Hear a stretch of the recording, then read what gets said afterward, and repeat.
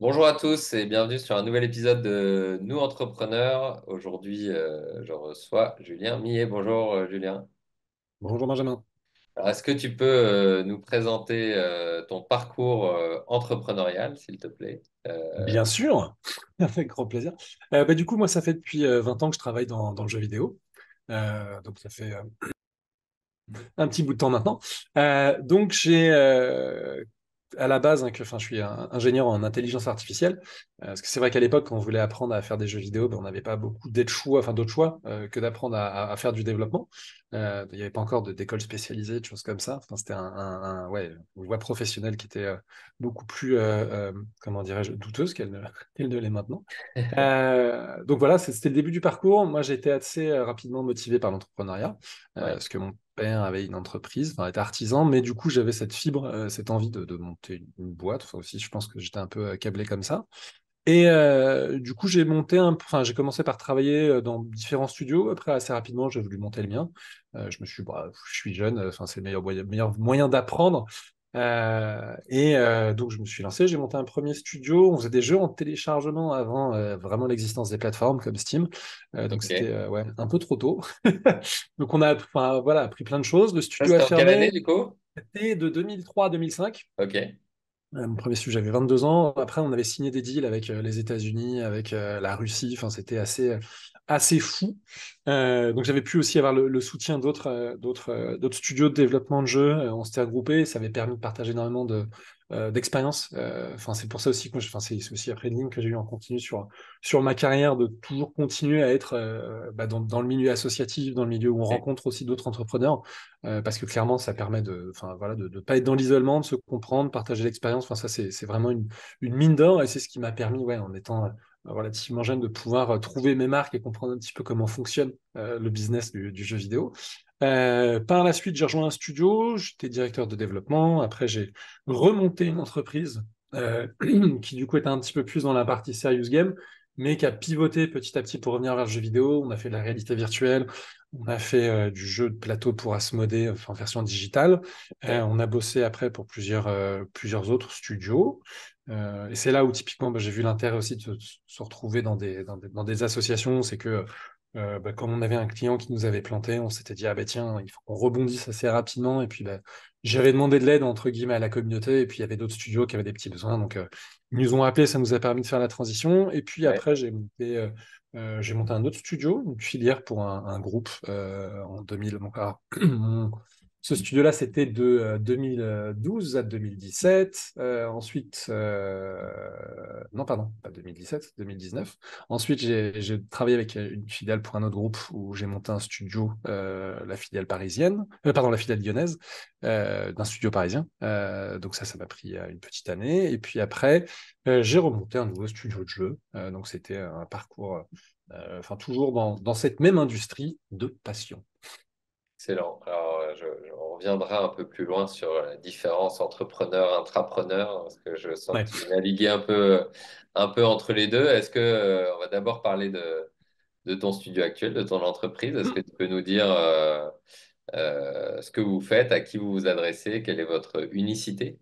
Yes, alors euh, le studio s'appelle United Beats, Euh, donc c'est un studio de... Alors, c'est euh, là où on voit un petit peu la, la- la- comment dirais-je, euh, les historiques et à quel point est-ce que euh, parfois on s'adapte aussi au, au contexte.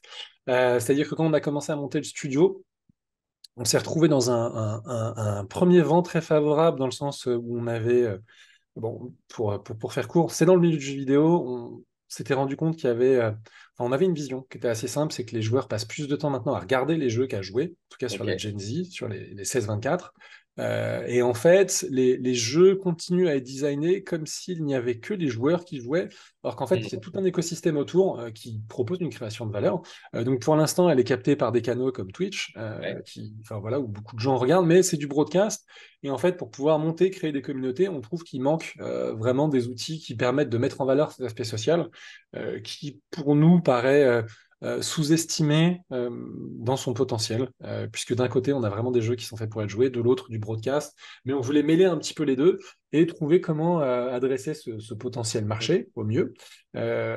donc là-dessus, on avait à la base des gens qui étaient très intéressés pour, pour investir, parce qu'en fait, mon, mon co-founder, lui, est quelqu'un de très expérimenté, qui a monté plusieurs studios qu'on appelle AAA, donc ça veut dire des, des gros studios qui sont passés de, on va dire, 5-6 personnes à euh, plusieurs centaines de personnes, 200, 300. Euh, donc, euh, donc du gros scale-up. Et du coup, on recherchait un petit peu voilà, ce, type, de, ce type de potentiel de croissance. On avait des investisseurs à la base, mais qui venaient de la crypto. Euh, le problème de la crypto, c'est qu'ils avaient beaucoup de sous chez FTX. Et en fait, du jour au lendemain, voilà. Et c'est, vrai que quand on lit les news, c'est un petit truc euh, un peu. Enfin, tu sais, on s'amuse, on dit, bah, c'est vrai, je le savais, la crypto, c'était, euh, c'était des tocards. alors que, bon, enfin, il y a des fondamentaux. Bref, je suis pas là pour débattre du sujet. Mais toujours est-il que, voilà, beaucoup de gens se sont dit, ah, ah je le savais. Et en fait, derrière cette petite news, il y a quand même des gens qui ont perdu un gros paquet d'argent, dont les investisseurs qui étaient avec nous, et qui a donné une espèce ouais, par ricochet, enfin, le, truc s'est retrouvé euh, euh, tué dans l'œuf. Euh, enfin, tué dans l'œuf, pas exactement. Après, il y a toujours la question du rebond, qu'est-ce qu'on fait, etc. Mais c'est vrai que quand on passe de, on va dire, un ticket d'entrée à 5 millions, qu'on voulait faire monter à 8 millions pour lancer le projet comme il fallait, ben, on s'est retrouvé sur le sou. et c'est vrai que en fait, on est arrivé, je vais dire, pile au mauvais moment, parce qu'il y avait vraiment, enfin, c'était suite post-Covid, beaucoup de fonds qui se sont montés autour du jeu vidéo, qui avaient envie d'investir. Euh, il y avait euh, une vraie appétence en fait pour cette industrie. Euh, beaucoup de cash est arrivé, mais il y a eu un moment où, après tous les investissements en cash qu'il y a eu sur le Web3, sur la blockchain, sur enfin, pas mal de domaines assez connexes aux jeux vidéo, mais aussi beaucoup d'argent qui a été mis euh, dans les studios de jeux. Il y a eu quelques questions qui sont posées et une espèce de vent glacial des investissements euh, est arrivé. Parce que c'est vrai qu'après, avec la guerre en Ukraine, avec tout ce qui est euh, bah, justement la, remontée des taux d'intérêt, le robinet à sous s'est retrouvé un petit peu fermé et assez brutalement. C'est-à-dire que là où avant, tous les fonds étaient super intéressés et pouvaient signer, je veux dire, sur un PowerPoint, là, on s'est retrouvé dans un contexte qui est devenu, c'est ouais, comme ils disent dans, comme ils disent dans Game of Thrones, euh, Winter is coming. Là, c'était euh, l'hiver glaciaire.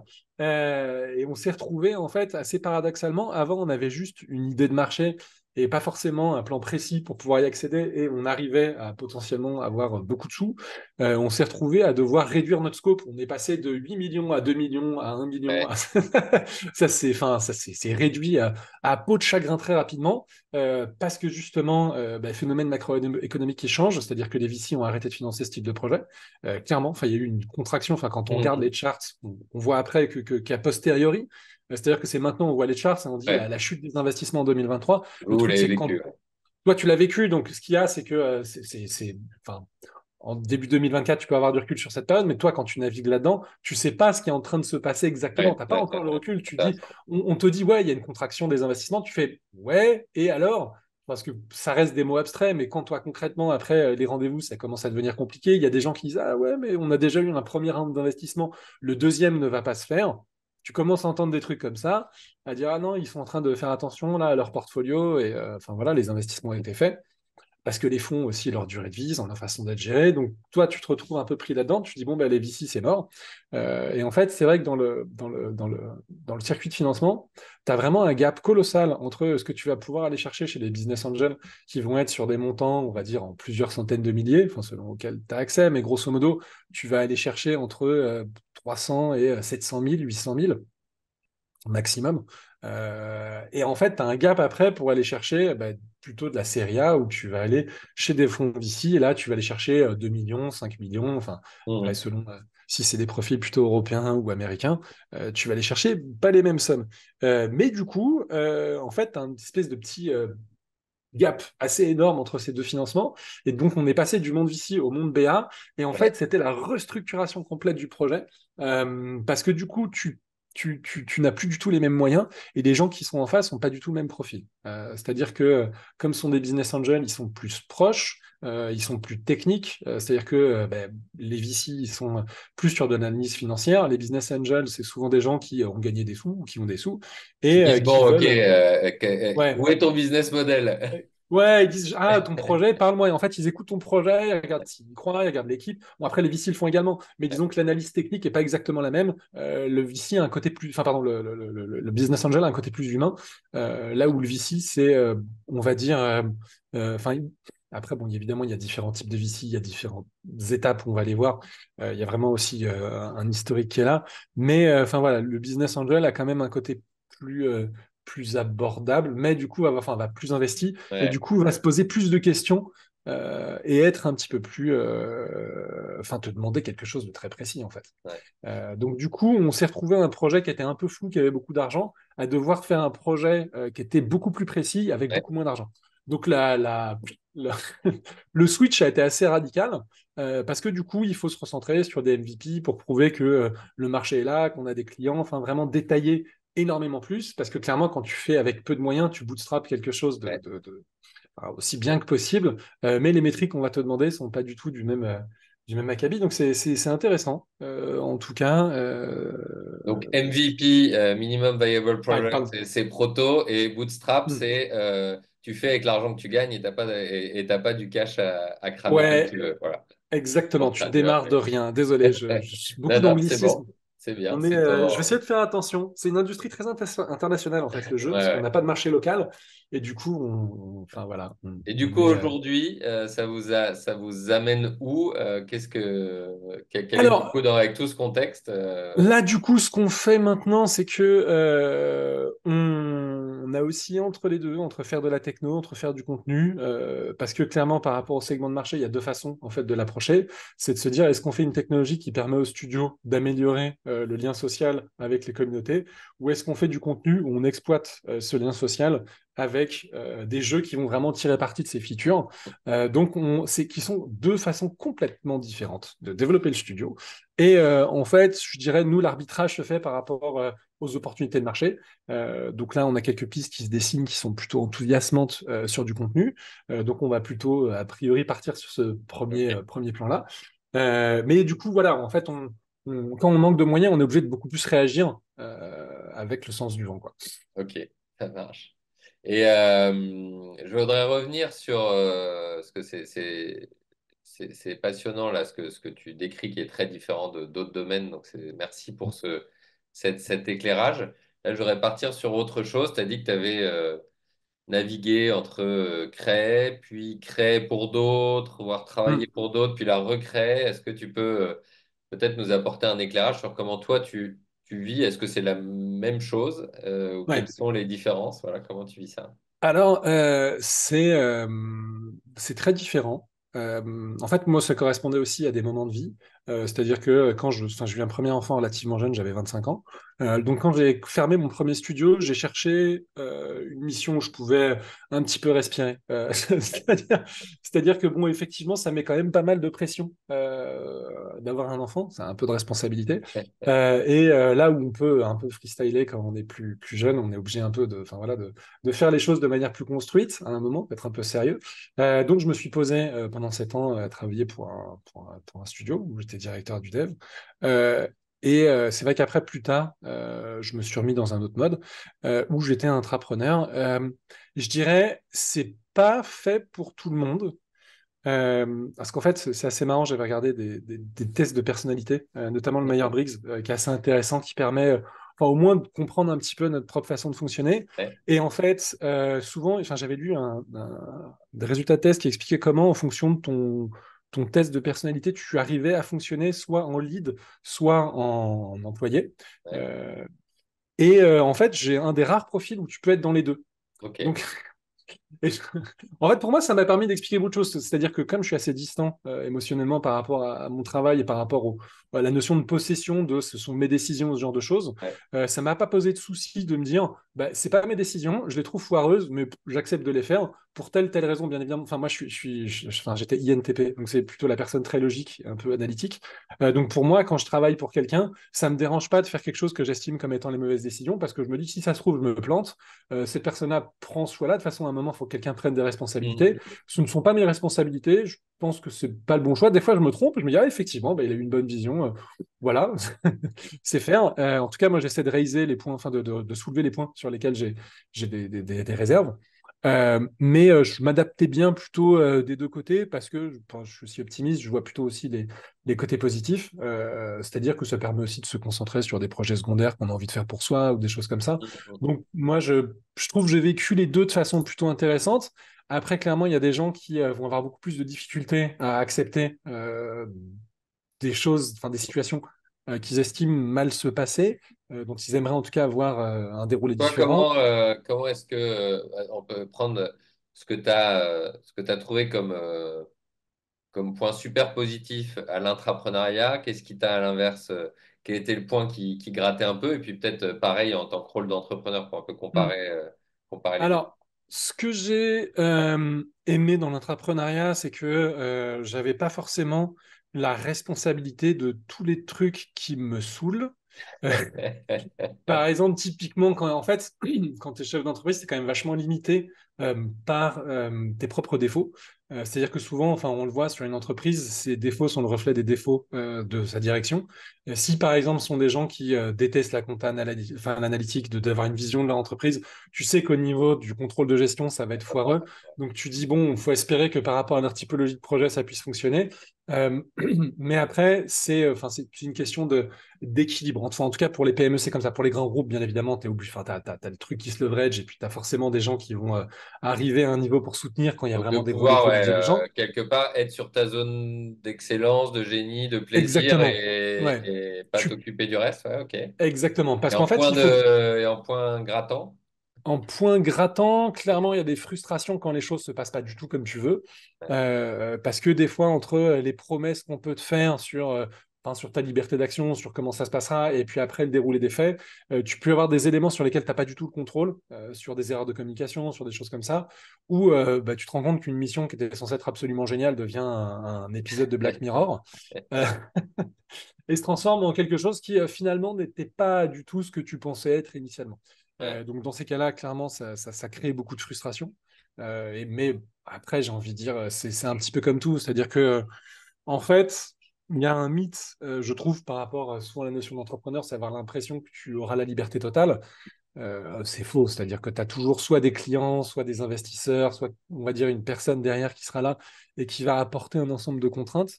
Euh, et en fait, ces contraintes-là, elles font partie du, elles font partie du paysage, donc il faut apprendre à naviguer avec. La question, c'est où est-ce que tu as des contraintes avec lesquelles tu vas naviguer le plus facilement et, qui, toi, te permettent de, de rester sur la durée. Quoi. Ouais, de, de voir des, contraintes que tu te choisis aussi. Mm. Euh, après, tu vis avec, donc c'est comme c'est pas une liberté euh, totale. Et potentiellement, tu as peut-être ce choix de certaines contraintes euh, jusqu'à un certain point. En fait, y a, moi je le vois sur certains entrepreneurs qui, par exemple, n'ont pas du tout d'envie de croissance de leur entreprise, qui décident de rester à 5-6, d'avoir leurs clients et de se poser plutôt tranquille. Et du coup, ça fait des boîtes qui peuvent fonctionner très bien et très résilientes parce que souvent ce sont des gens qui euh, savent exactement où ils mettent les pieds, ils prennent pas forcément plus de risques que ce qu'ils avaient envie de prendre. Euh, une fois qu'ils ont trouvé leur rythme de croisière, ils n'ont pas envie de changer le mode de fonctionnement. Et ça peut très bien marcher comme ça. Mm. Ouais, intéressant. Top. Cool. Euh, quel est sur, sur toutes ces, années-là, toi, un, apprentissage que tu voudrais partager avec les personnes qui nous écoutent? Le, le, plus important, euh, c'est de sortir la tête du guidon. Euh, parce que clairement, quand on est entrepreneur, c'est quelque chose qui est assez facile. Euh, donc pour ça, il faut se réserver du temps pour soi-même.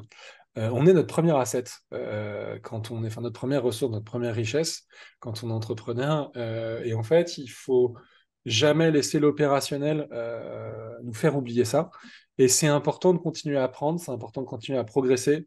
Euh, et en fait, prendre du temps euh, pour soi, euh, c'est primordial. Et quand je dis du temps pour soi, c'est au sens large. C'est-à-dire que pour moi, l'entrepreneuriat, c'est vraiment un marathon.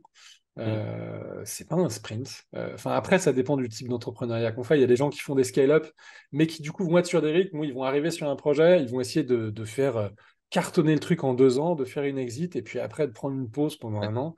Euh, en fait, on a besoin euh, de ces moments-là pour pouvoir se ressourcer, euh, pour pouvoir bah, comprendre un petit peu ce qu'on fait.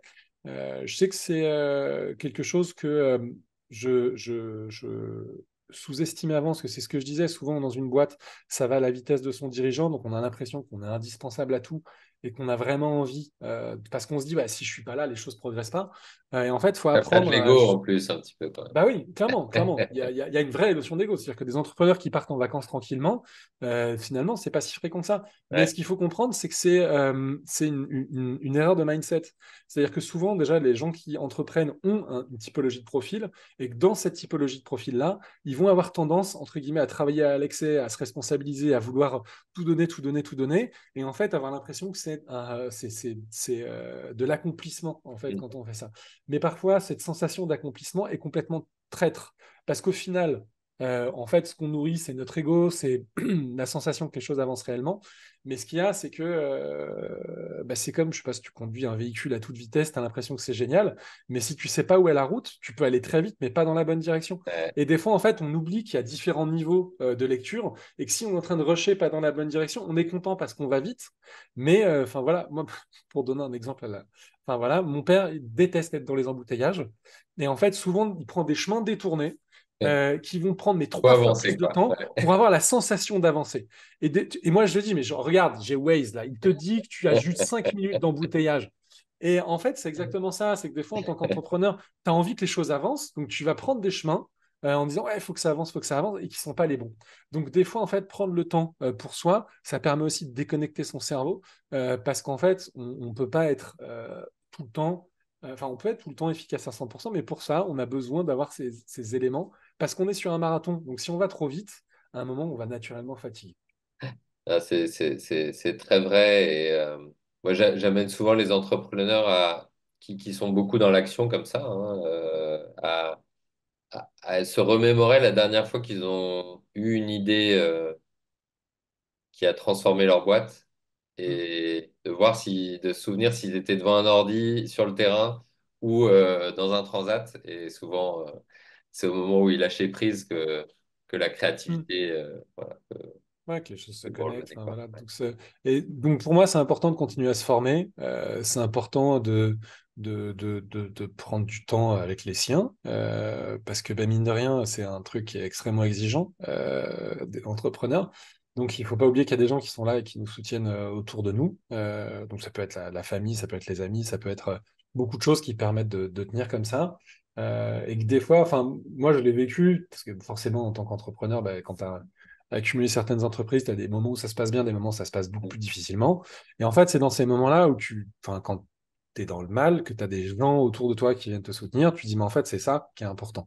Et c'est vrai qu'après, on est repris par cette espèce de, d'envie d'avancer, euh, mais il faut pas oublier, voilà, que même si c'est, euh, des fois, on est un peu comme, comme, des, comme, des, comme des insectes vers la lumière, quoi. C'est que on a cette envie que les choses avancent, mais euh, c'est pas forcément parce qu'il y a de la lumière que euh, c'est là qu'il faut aller. Quoi. Des fois, il faut prendre le temps d'un peu respirer. Top. Eh ben, on, va, on, va terminer là-dessus. Euh, super, super apprentissage. Merci, Julien. Merci d'avoir répondu à mes questions. Et puis, à très bientôt sur un nouvel épisode de Nos Entrepreneurs. Ciao.